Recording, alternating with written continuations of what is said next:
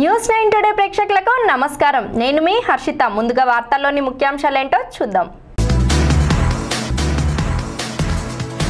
ఏపీకి ప్రత్యేక హోదాపై శేషగిరి మండిపాటు.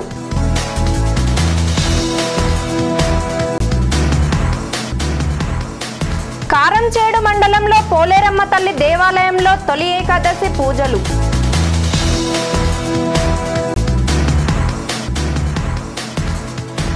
ఏకాదశి సందర్భంగా కృష్ణానదిలో భక్తుల కోలాహలం.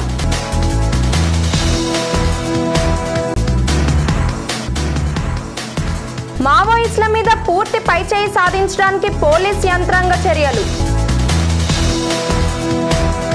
కృష్ణా జిల్లా జగ్గయ్యపేట సమీపంలోని ప్రముఖ పుణ్యక్షేత్రం వేదాద్రి శ్రీ యోగానంద లక్ష్మీ నరసింహస్వామి వారి ఆలయంలో పవిత్రోత్సవాలు శాస్త్రయుక్తంగా ప్రారంభమయ్యాయి. విశ్వక్సేన పూజ పుణ్యవచనం అగ్నిమతనం అగ్ని ప్రతిష్టాపన పవిత్ర శుద్ధి నవగ్రహ యజ్ఞం వంటి కార్యక్రమాలు ఆగమన శాస్త్ర ప్రకారం నిర్వహిస్తున్నారు. తొలి ఏకాదశి మరియు పవిత్రోత్సవాలు సందర్భంగా పెద్ద సంఖ్యలో భక్తులు ఆలయానికి వచ్చేసి కృష్ణానదిలో స్నానం ఆచరించి స్వామి అమ్మవార్లను దర్శించుకునేందుకు బారులు తీరారు. కృష్ణా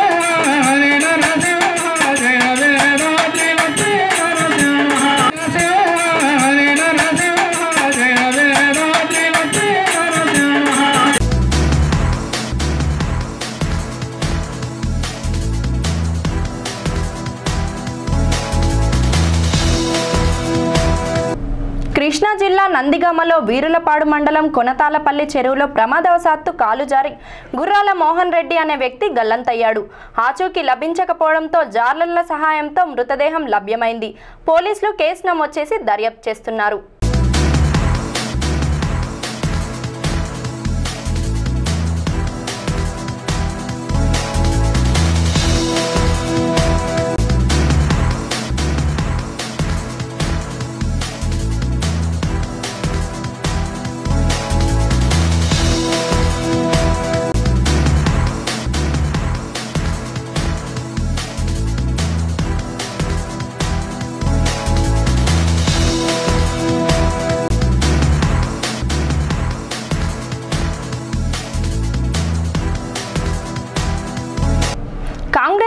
అధికారంలోకి రాగానే ఏపీకి ప్రత్యేక హోదా ఇచ్చేది మేమే అన్నప్పుడు మొన్న జరిగిన పార్లమెంట్ సమావేశంలో రాహుల్ గాంధీ ప్రత్యేక హోదా గురించి ఎందుకు మాట్లాడలేదు అని శేషగిరిరావు ప్రశ్నించారు. ఇవాళ ఈ దుస్థితి రావటానికి కారణం మోడీ అయితే మరొక కారణం చంద్రబాబు అని మండిపడ్డారు. రాష్ట్ర విభజన జరగడానికి ముఖ్య కారణం కాంగ్రెస్ పార్టీ అయితే వంతు పలికిన పార్టీలు బీజేపీ టీడీపీ అని విభజన అనంతరం కిరణ్ కుమార్ రెడ్డి ఏ విధంగా కుట్ర పన్నారో మీ అందరికీ తెలుసు అని ఆయన తెలిపారు. స్పెషల్ స్టేటస్ లేదు.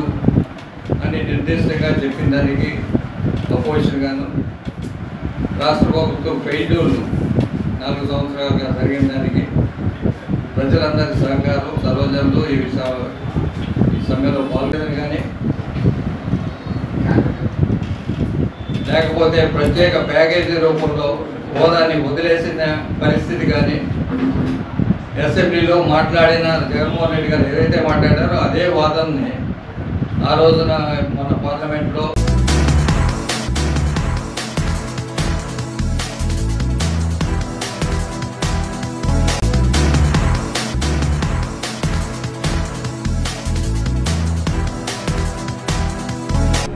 పర్చూరు నియోజకవర్గ పరిధిలోని కారంచేడు మండలం రంగప్ప నాయుడు వారి పాలెంలో పోలేరమ్మ తల్లి దేవాలయంలో తొలి ఏకాదశి పండుగ సందర్భంగా పూజలు నిర్వహించారు.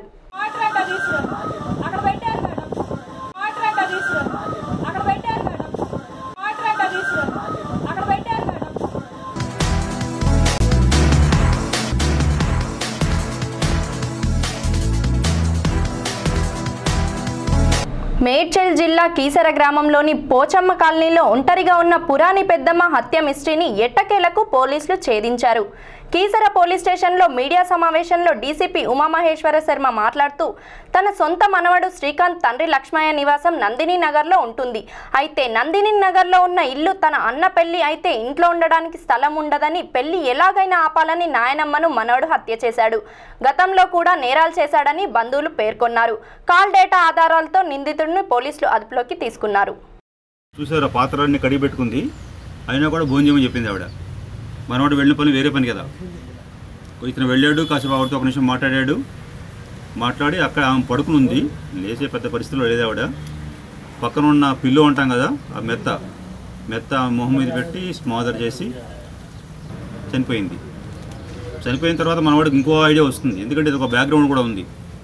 ఇలా చనిపోయింది అంటే అనుమానం వస్తుంది కాబట్టి ఆవిడకున్న చెవికి ఉన్న గంటీలు ఆ ముక్కు పుడక రెండు ముక్కు పుడకలు మెడలో ఉన్న ఏదైతే హారం ఉందో అది అవన్నీ ఉన్నాయి కదా అక్కడ.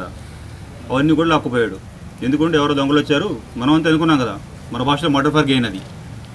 కాబట్టి అలా వస్తే కనుక అలా మనం పోలీసులను మళ్ళించవచ్చు కుటుంబం వాళ్ళని మళ్ళించవచ్చు అని చెప్పి పట్టుకెళ్ళిపోయాడు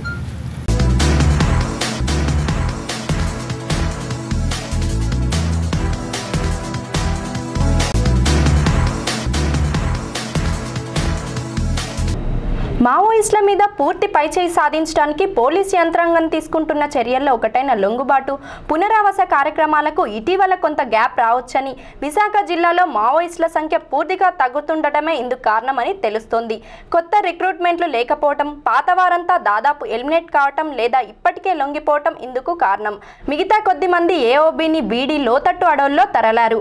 అలాంటి వారిలో ఎవరన్నా స్వగ్రామాలకు లేదా బోర్డర్లకు వస్తే పోలీసులకు తెలిసిపోతుందని అలాంటి వారిని కుటుంబ సభ్యుల ద్వారా లొంగుబాటుకు ప్రోత్సహిస్తున్నారు.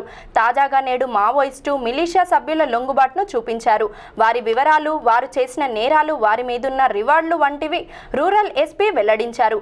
పెద్దబయలు ఏరియా కమిటీ సభ్యురాళ్ళు తాంబేలు లక్ష్మి పాంగిసీలు మిలీషియా సభ్యులు రామకృష్ణ సింహాచలం కొండబాబు ఆనందరావులు లొంగిపోయారు. అలియాస్ జాన్కి ఆమెది లింగర్పుట్ విలేజ్ బొంగన పంచాయతీ. రెండు వేల పద్నాలుగు నుంచి రెండు వేల పదహారు వరకు దళంలో పనిచేసింది దీని తర్వాత బయట రావడం జరిగింది. అప్పటి నుంచి కూడా దళం మళ్ళీ మళ్ళీ ఊరికి రావడం మళ్ళీ మళ్ళీ అడగడం మాకు భోజనం పెట్టు మా దళం తిరిగి వచ్చేయండి. ఎందుకంటే కొంచెం సంఖ్య సంఖ్య తగ్గించడం జరిగింది ఈ మధ్యకాలం దళంలో. వాళ్ళకి మళ్ళీ పెరగడం జరుగుతూ ఉంటుంది దళంలో.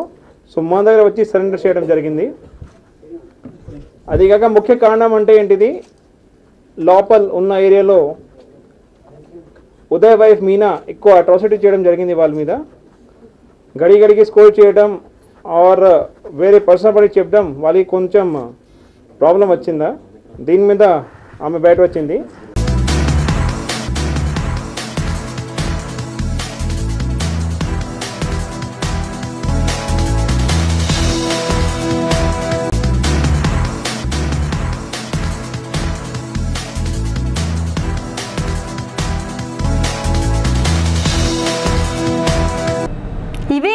వరకు బులెటిన్ అప్డేట్స్.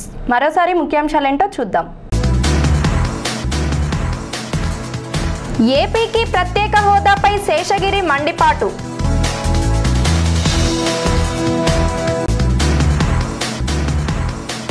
కారంచేడు మండలంలో పోలేరమ్మ తల్లి దేవాలయంలో తొలి ఏకాదశి పూజలు.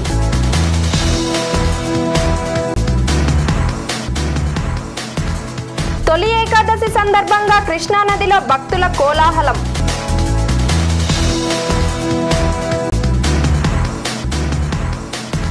మావోయిస్టుల మీద పూర్తి పైచేయి సాధించడానికి పోలీస్ యంత్రాంగ చర్యలు. క్షణక్షణం తాజా వీక్షణం. చూస్తూనే ఉండండి న్యూస్ నైన్ టుడే. ప్రజాశ్రేయసే మా లక్ష్యం.